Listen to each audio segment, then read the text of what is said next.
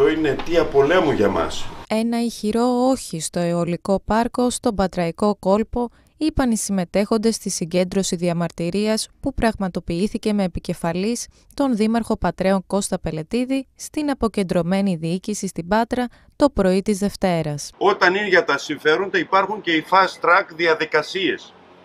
Και στις fast track διαδικασίες τους γνωστοποιήσαμε αλλά και σε όλη τη διαδικασία ότι αυτό που πάνε να κάνουν είναι αιτία πολέμου για μας και δεν θα γίνει.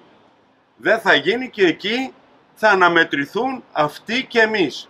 Τα κέρδη με τη ζωή. Ο Δήμαρχος μαζί με αντιπροσωπεία φορέων παρέδωσε ψήφισμα στο συντονιστή της αποκεντρωμένης διοίκησης με τις θέσεις της Επιτροπής Αγώνα και την απέτηση να μην δημιουργηθεί υπεράκτιο αιωλικό πάρκο στον Πατραϊκό, ζητώντας να διαβιβαστεί στην κυβέρνηση. Εμείς σήμερα είμαστε ειρηνικά εδώ πέρα, αλλά, αλλά επειδή έχουμε δρόμο, θα πρέπει να καταλάβουν ότι αυτό είναι αιτία πολέμου για μας.